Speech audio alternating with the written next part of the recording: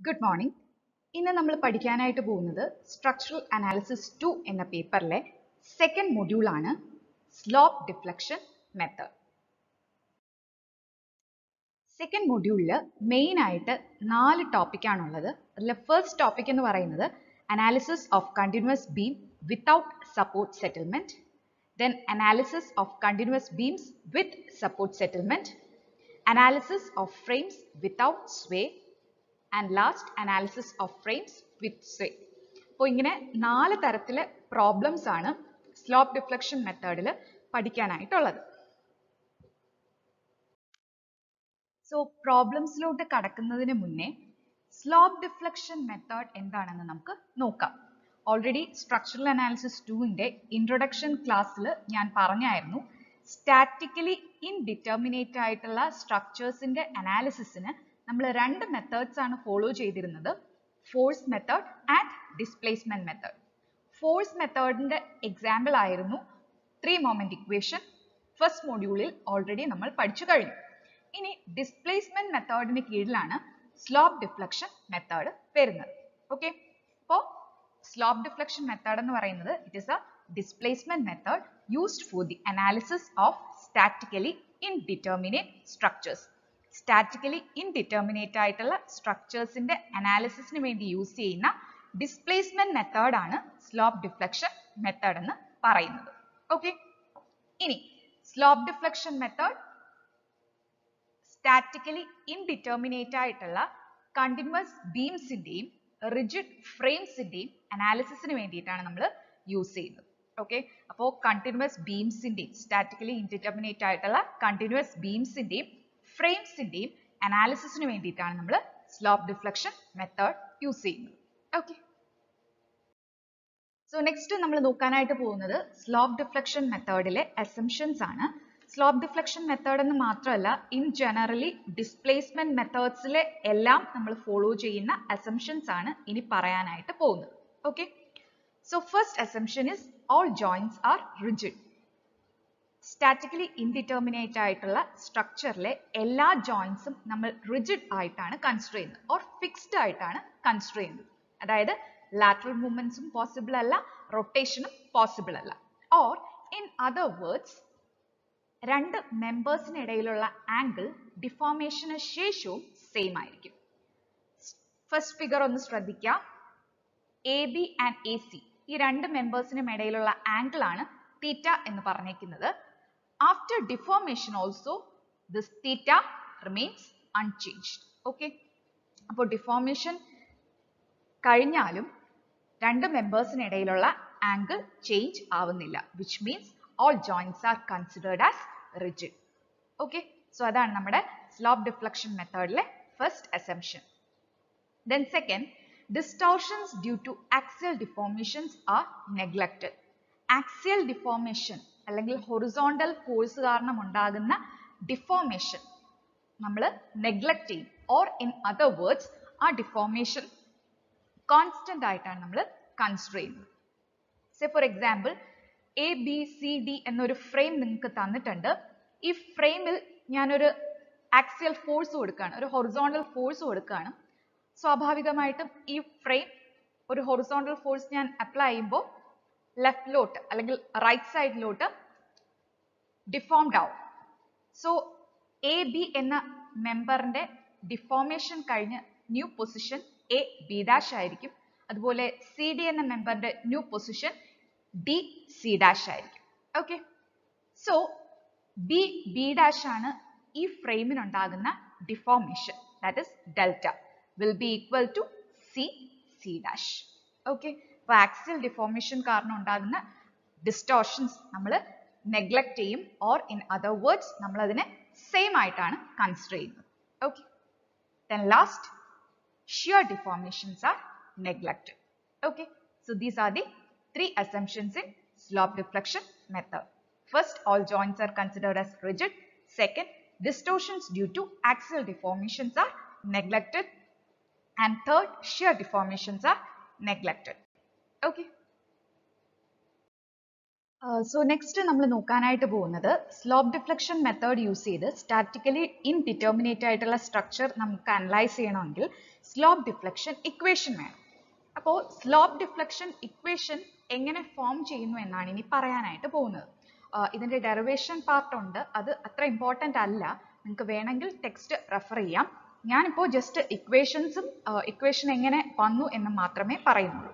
Okay so നിങ്ങൾ first മോഡ്യൂളിൽ already three moment equation പഠിച്ചിട്ടുണ്ട്. ത്രീ മൊമെന്റ് ഇക്വേഷൻ യൂസ് ചെയ്ത് നമ്മൾ എന്തായിരുന്നു കാൽക്കുലേറ്റ് ചെയ്തിരുന്നത്? ഓരോ സ്പാനിലെയും എൻഡ് മൊമെന്റ്സ് ആണ് കാൽക്കുലേറ്റ് ചെയ്തിരുന്നത്. സിമിലർലി സ്ലോപ്പ് ഡിഫ്ലക്ഷൻ മെത്തേഡിലും നമ്മൾ എൻഡ് മൊമെന്റ് ആണ് കാൽക്കുലേറ്റ് ചെയ്യുന്നത്. അല്ലെങ്കിൽ സ്ലോപ്പ് ഡിഫ്ലക്ഷൻ ഇക്വേഷൻ യൂസ് ചെയ്ത് നമ്മൾ എൻഡ് മൊമെന്റ്സ് ആണ് കാൽക്കുലേറ്റ് ചെയ്യുന്നത്. അപ്പോൾ അത് കാൽക്കുലേറ്റ് ചെയ്യാനായിട്ട് ജസ്റ്റ് ഒരു ഫോമുല നിങ്ങൾ അറിഞ്ഞിരിക്കണം. സ്ലോപ്പ് ഡിഫ്ലക്ഷൻ മെത്തേഡിൽ ഫൈനൽ എൻഡ് മൊമെന്റ് എന്ന് പറയുന്നത് it will be the sum of fixed end moments moment due to settlements and moment due to rotation fixed end മൊമെന്റ്സിന്റെയും moment due to സെറ്റിൽമെന്റിന്റെയും moment due to റൊട്ടേഷന്റെയും sum ആണ് final end moment എന്ന് പറയുന്നത്. ഇനി നമുക്ക് fixed end moment എന്താണ് moment due to settlement എന്താണ് moment due to rotation എന്താണെന്ന് നോക്കാം. ഫസ്റ്റ് ഒരു കണ്ടിന്യൂസ് ബീമിന്റെ ഒരു സ്പാൻ എ ബി കൺസിഡർ ചെയ്യുക. W one and W two as shown in figure ഒരു കണ്ടിന്യൂസ് ബീമിന്റെ എ ബി എന്ന സ്പാൻ കൺസിഡർ ചെയ്യുക ആ സ്പാനിന്റെ ഡിഫ്ലക്റ്റഡ് ഡയഗ്രം ആണ് അടുത്തതായി കാണിച്ചിരിക്കുന്നത്. ദെൻ ഫസ്റ്റ് നമുക്ക് എന്താണ് ഫിക്സ്ഡ് ആൻഡ് മൊമെന്റ്സ് എന്ന് നോക്കാം. ഓൾറെഡി സ്ലോപ്പ് ഡിഫ്ലക്ഷൻ മെത്തേഡിന്റെ അസംഷനിലെ ഫസ്റ്റ് പോയിന്റിൽ ഞാൻ പറഞ്ഞു കഴിഞ്ഞു. All joints are rigid or all joints are considered as fixed നമ്മൾ ഒരു ജോയിന്റിന് ഒരു കണ്ടിന്യൂസ് ബീമിലെ ഒരു ജോയിന്റിനെ ഫിക്സ്ഡ് ആയിട്ട് കൺസിഡർ ചെയ്യുകയാണെങ്കിൽ അവിടുത്തെ റൊട്ടേഷനെ നമ്മൾ റെസ്ട്രിക്ട് ചെയ്യാണ് ഓക്കെ അപ്പോൾ റൊട്ടേഷൻ റെസ്ട്രിക്റ്റ് ചെയ്യുമ്പോൾ കറസ്പോണ്ടിങ് ആയിട്ട് അവിടെ ഡെവലപ്പ് ആകുന്ന മൊമെന്റ് ആണ് ഫിക്സ്ഡ് ആൻഡ് മൊമെന്റ് എന്ന് പറയുന്നത്. ഓക്കെ അപ്പോൾ അതാണ് ഇവിടെ കാണിച്ചിരിക്കുന്നത്. എ ബി എന്ന സ്പാനിലെ സപ്പോർട്ട് എ ഞാൻ ഫിക്സ്ഡ് ആയിട്ട് അസ്യൂം ചെയ്തു. അതായത് അവിടുത്തെ എ എന്ന ഹിഞ്ച്ഡ് സപ്പോർട്ടിലെ റൊട്ടേഷൻ റെസ്ട്രിക്ട് ചെയ്തു. കറസ്പോണ്ടിങ് ആയിട്ട് അവിടെ ഡെവലപ്പ് ആയ മൊമെന്റ് ആണ് M F A B that fixed end moment A similarly B എന്ന ഹിഞ്ച്ഡ് സപ്പോർട്ടിലെ റൊട്ടേഷൻ ഞാൻ റെസ്ട്രിക്ട് ചെയ്തപ്പോൾ അവിടെ ഡെവലപ്പ് ആവുന്ന ഫിക്സ്ഡ് ആൻഡ് മൊമെന്റ് ആണ് M F B A okay so നമ്മൾ ഒരു ജോയിന്റ് ഫിക്സിറ്റി അസ്യൂം ചെയ്യാണ്. അതായത് ആ പോയിന്റിലെ റൊട്ടേഷൻ നമ്മൾ റെസ്ട്രിക്ട് ചെയ്യുമ്പോൾ കറസ്പോണ്ടിങ് ആയിട്ട് അവിടെ ഡെവലപ്പ് ആകുന്ന മൊമെന്റ് ആണ് ഫിക്സ്ഡ് മൊമെന്റ് ഓക്കെ ഇനി എന്താണ് മൊമെന്റ് ഡ്യൂ ടു സെറ്റിൽമെന്റ് ഒരു സപ്പോർട്ട് സെറ്റിൽമെ സെറ്റിൽ ഡൗൺ ചെയ്യുമ്പോൾ കറസ്പോണ്ടിങ് ആയിട്ട് ആ ജോയിന്റിൽ ഡെവലപ്പ് ആകുന്ന മൊമെന്റ് ആണ് മൊമെന്റ് ഡ്യൂ ടു സെറ്റിൽമെന്റ് ഇപ്പൊ ഈ സ്പാനിൽ സപ്പോർട്ട് ബി സെറ്റിൽ ഡൗൺ ചെയ്യുകയാണെങ്കിൽ കറസ്പോണ്ടിങ് ആയിട്ട് എയിൽ ഡെവലപ്പ് ആകുന്ന മൊമെന്റ് ആണ് six E I delta by L square which is the moment due to settlement at A and similarly ബിയിൽ ഡെവലപ്പ് ആകുന്ന മൊമെന്റ് ആണ് six E I delta by L square moment due to settlement at joint B clear ആയോ? അപ്പോൾ joint settle down ചെയ്യുമ്പോൾ corresponding ആയിട്ട് രണ്ടെൻഡിലും develop ആകുന്ന moment ആണ് മൊമെന്റ് ഡ്യൂ ടു സെറ്റിൽ ഇനി മൊമെന്റ് ഡ്യൂ ടു റൊട്ടേഷൻ എന്ന് പറയുന്നത് ഓൾറെഡി നമ്മൾ എല്ലാ ജോയിന്റ്സിനെയും ഫിക്സ്ഡ് ആയിട്ടാണ് അസ്യൂം ചെയ്യുന്നത്. ഓക്കെ അപ്പോൾ എ ആൻഡ് ബി തന്നിരിക്കുന്ന സ്പാനിലെ എ ആൻഡ് ബി എ ഞാൻ ഫിക്സ്ഡ് ആയിട്ടാണ് അസ്യൂം ചെയ്തത് ഇനി ഞാൻ എന്ത് ചെയ്യുന്നു? എയുടെ ഫിക്സിറ്റ് റിമൂവ് ചെയ്യാണ്.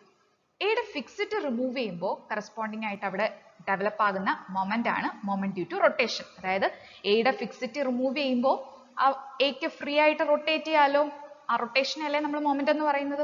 അപ്പോൾ എ എന്ന സപ്പോർട്ടിന്റെ ഫിക്സിറ്റ് നമ്മൾ റിമൂവ് ചെയ്യുമ്പോൾ കറസ്പോണ്ടിങ് ആയിട്ട് അവിടെ ഡെവലപ്പ് ആകുന്ന മൊമെന്റ് ആണ് മൊമെന്റ് ഡ്യൂ ടു റൊട്ടേഷൻ അപ്പോൾ എയുടെ ഫിക്സിറ്റി നമ്മൾ റിമൂവ് ചെയ്യുമ്പോൾ കറസ്പോണ്ടിങ് ആയിട്ട് എയിൽ ഡെവലപ്പ് ആകുന്ന മൊമെന്റ് ആണ് എം ഡാഷ് എ ബി അതുപോലെ ബിയുടെ ഫിക്സിറ്റി ആണ് നമ്മൾ റിമൂവ് ചെയ്യുന്നെങ്കിൽ കറസ്പോണ്ടിങ് ആയിട്ട് ബിയിൽ ഡെവലപ്പ് ആകുന്ന മൊമെന്റ് ആണ് ഡാഷ് ബി എ ഓക്കെ അപ്പോ moment due to settlement moment due to rotation fixed end moments clear ആയോ? Then next final end moment എന്ന് പറയുന്നത് ഈ മൂന്ന് മൊമെന്റ്സിന്റെയും സം ആണെന്ന് ഓൾറെഡി നമ്മൾ പറഞ്ഞു കഴിഞ്ഞു. കാൽക്കുലേറ്റ് ചെയ്യാനുള്ള formula M A B is equal to M F A B plus two E I by L 2 theta a plus theta b minus 3 delta by L where MFAB fixed end moment at AB uh, theta A എന്ന് പറയുന്നത് നമ്മൾ എയുടെ rotation ആണ്. A എന്ന ജോയിന്റിലെ rotation ആണ് theta A similarly theta B എന്ന് പറയുന്നത് ജോയിന്റ് ബിയുടെ rotation then M B A അതായത് നമ്മൾ ഒരു സ്പാൻ കൺസിഡർ ചെയ്യുമ്പോൾ ഇപ്പോൾ ഇവിടെ ക്വസ്റ്റ്യനിൽ എ ബി എന്ന സ്പാൻ ആണ് തന്നിരിക്കുന്നത് സോ എ ബിയുടെ final line moment M A ബിയും ബി എയുടെ ഫൈനൽ ലൈൻ മൊമെന്റ് ആണ് M B A so M So MBA is equal to MFBA plus 2 EI by L into theta A plus 2 theta B minus 3 delta by L. Where delta എന്ന് പറയുന്നത് support settlement ആണ്. അപ്പോ settlement തരാത്ത case ആണെങ്കിൽ delta delta will be equal to zero okay so ഈ രണ്ട് ഇക്വേഷനും ആണ് നമ്മൾ സ്ലോപ്പ് ഡിഫ്ലക്ഷൻ ഇക്വേഷൻ എന്ന് പറയുന്നത്. ഈ രണ്ട് ഇക്വേഷനും ബൈ ഹാർട്ട് ചെയ്ത് കഴിഞ്ഞാൽ സ്ലോപ്പ് ഡിഫ്ലക്ഷൻ മെത്തേഡിലെ എല്ലാ പ്രോബ്ലംസും നമുക്ക് ഈസിലി സോൾവ് ചെയ്യാനായിട്ട് പറ്റും. ഓക്കെ സോ ഓൾറെഡി നമ്മൾ സ്ലോപ്പ് ഡിഫ്ലക്ഷൻ ഇക്വേഷൻ കണ്ടപ്പോൾ തന്നെ നിങ്ങൾക്ക് മനസ്സിലായിട്ടുണ്ടാവും. ഫൈനൽ എൻ കാൽക്കുലേറ്റ് ചെയ്യാനായിട്ട് നമുക്ക് ഫിക്സ്ഡ് എൻ വേണം. ഓരോ ലോഡ് കേസിനും ഫിക്സ്ഡ് എൻ ഡിഫറെന്റ് ആണ്. അപ്പോൾ അതിൽ നിങ്ങൾ ഇമ്പോർട്ടന്റ് ആയിട്ട് അറിഞ്ഞിരിക്കേണ്ട fixed end formula first three load കേസസും ആണ്. ഈ ഫിഗറിൽ കാണുന്ന ആദ്യത്തെ മൂന്ന് ലോഡ് കേസസും നിങ്ങൾ കൃത്യമായി അറിഞ്ഞിരിക്കണം. അതായത് for central point load M F A B is equal to minus W L by eight and M F B is equal to W L by eight ഇവിടെ സൈൻ കൊടുത്തിട്ടില്ല. കാരണം മൊമെന്റ് എ ബിയുടെ moment anticlockwise ആണ് കൊടുത്തേക്കുന്നത്. So anticlockwise moment is taken as negative So for eccentric point load, second case, MFB AB is equal to minus WAB square by L square and MFBA is equal to WBA square by L square. If the span carries UDL throughout its length, MFAB is equal to WL square by 12 minus WL square by 12 and MFBA is equal to WL square by 12. Okay അപ്പോൾ ഈ മൂന്ന് load കേസിലെയും fixed and moment ആണ് നിങ്ങൾ കൃത്യമായിട്ട് അറിഞ്ഞിരിക്കേണ്ടത് okay അടുത്ത രണ്ട് ലോഡ് കേസ് യു വി എല്ലിന്റെ കേസ് ജസ്റ്റ് ഒന്ന് അറിഞ്ഞിരിക്കുക. ഉറപ്പായിട്ടും ഫസ്റ്റ് മൂന്ന് ലോഡ് കേസസിന്റെയും നിങ്ങൾ ബൈ ഹാർട്ട് ചെയ്തിരിക്കണം. ഓക്കെ സോ നെക്സ്റ്റ് നമ്മൾ നോക്കാനായിട്ട് പോകുന്നത് കണ്ടിന്യൂസ് ബീംസിന്റെ സ്ലോപ്പ് ഡിഫ്ലക്ഷൻ മെത്തേഡ് യൂസ് ചെയ്തിട്ടുള്ള അനാലിസിസ് പ്രൊസീജിയർ ആണ്. ഫസ്റ്റ് സ്റ്റെപ്പ് എന്ന് പറയുന്നത് ഫിക്സ്ഡ് ആൻഡ് മൊമെന്റ്സ് കാൽക്കുലേറ്റ് ചെയ്യുക നിങ്ങൾക്ക് തന്നിരിക്കുന്ന കണ്ടിന്യൂസ് ബീമിലെ ഓരോ സ്പാനിലെയും ഓരോ എൻഡിലെയും ഫിക്സ്ഡ് ആൻഡ് മൊമെന്റ് കാൽക്കുലേറ്റ് ചെയ്യുക ദെൻ സെക്കൻഡ് സ്റ്റെപ്പ് എന്ന് പറയുന്നത് സ്ലോപ്പ് ഡിഫ്ലക്ഷൻ ഇക്വേഷൻ ഫോം ചെയ്യുക ഓരോ സ്പാനിലെയും ഓരോ എൻഡിലെയും സ്ലോപ്പ് ഡിഫ്ലക്ഷൻ ഇക്വേഷൻ ഫോം ചെയ്യാം. ദെൻ നെക്സ്റ്റ് സ്റ്റെപ്പ് എന്ന് പറയുന്നത് ജോയിന്റ് ഇക്ലിബ്രിയം ഇക്വേഷൻ ഫോം ചെയ്യാം. അതായത് ഓരോ ജോയിന്റിലെയും മൊമെന്റ്സിന്റെ സം സീറോ ആയിരിക്കും. Sigma M is equal to zero അതിനെയാണ് ജോയിന്റ് ഇക്ലിബ്രിയം ഇക്വേഷൻ എന്ന് പറയുന്നത്. ഓരോ ജോയിന്റിലെയും വരുന്ന മൊമെന്റ്സിന്റെ സം സീറോക്ക് ഇക്വേറ്റ് ചെയ്യുക സിംപ്ലിഫൈ ചെയ്യുക. സോ അതാണ് ജോയിന്റ് ഇക്ലിബ്രിയം ഇക്വേഷൻ പ്രോബ്ലം വരുമ്പോൾ ഡീറ്റെയിൽഡ് ആയിട്ട് നോക്കാം. Okay and last final moment calculate ചെയ്യാം ഓക്കെ അപ്പോൾ ഈ സ്റ്റെപ്സ് ഒക്കെ ഡീറ്റെയിൽഡ് ആയിട്ട് പ്രോബ്ലം വരുമ്പോൾ എക്സ്പ്ലെയിൻ ചെയ്യുന്നതായിരിക്കും. And last step draw the bending moment diagram final moment കിട്ടിക്കഴിഞ്ഞാൽ ബെൻഡി മൊമെന്റ് ഡയഗ്രാം വരയ്ക്കാൻ സിമ്പിൾ ആണ്.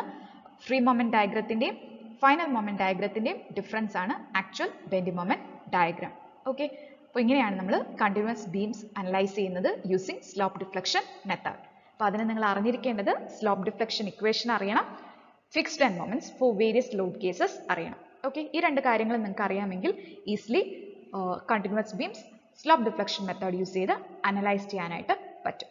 ഓക്കെ അപ്പോൾ പ്രോബ്ലംസ് നമുക്ക് നെക്സ്റ്റ് ക്ലാസ്സിൽ നോക്കാം. താങ്ക്